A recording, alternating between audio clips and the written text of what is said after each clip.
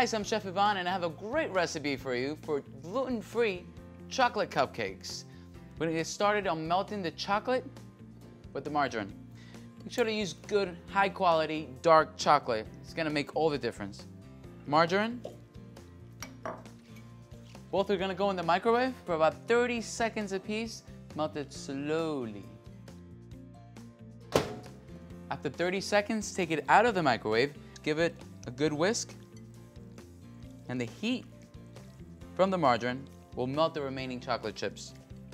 Just keep on whisking until it becomes nice and smooth. To this, we're gonna add the egg yolks. Get all that good stuff in there.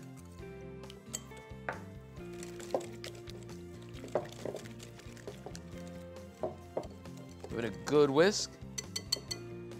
Set that off to the side. Now to make these cupcakes light and to actually make them rise, you're gonna need something that's fluffy. So we're gonna actually use the whites of the eggs. Start at medium speed just to get it a little frothy. It's gonna loosen everything up. Go on medium. When it looks a little frothy, you're gonna add a third of the sugar. Back on medium. You're gonna whisk this for about three minutes until it about doubles in volume.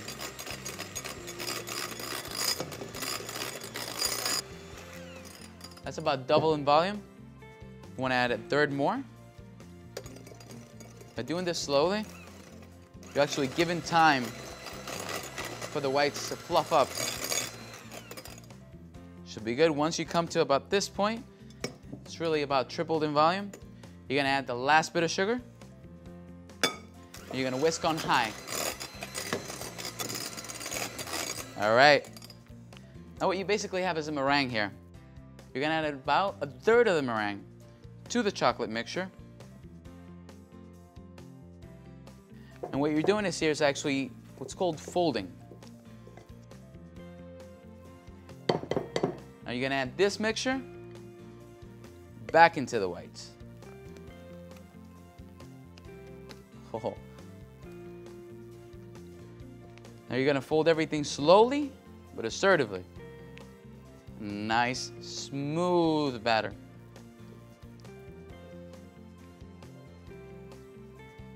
There we go.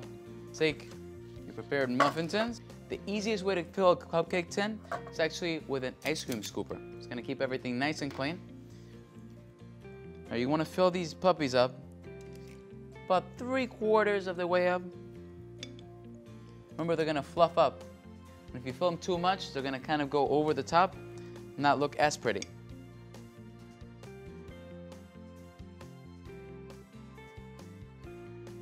Cool. Set this off to the side. Into the oven for about 25 minutes, but keep an eye on them. And when you first come out of the oven, you're gonna see that they're nice and fluffy. As they cool, they're gonna sink in the middle. Don't worry, just that they don't have the support of the flour. That's what makes them gluten-free. However, all that flavor is still jam-packed inside. I'm gonna put this on a cooling rack.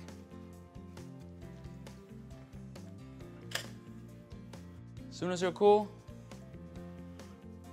a little bit of powdered sugar. Mmm. Doesn't really get easier or better than that.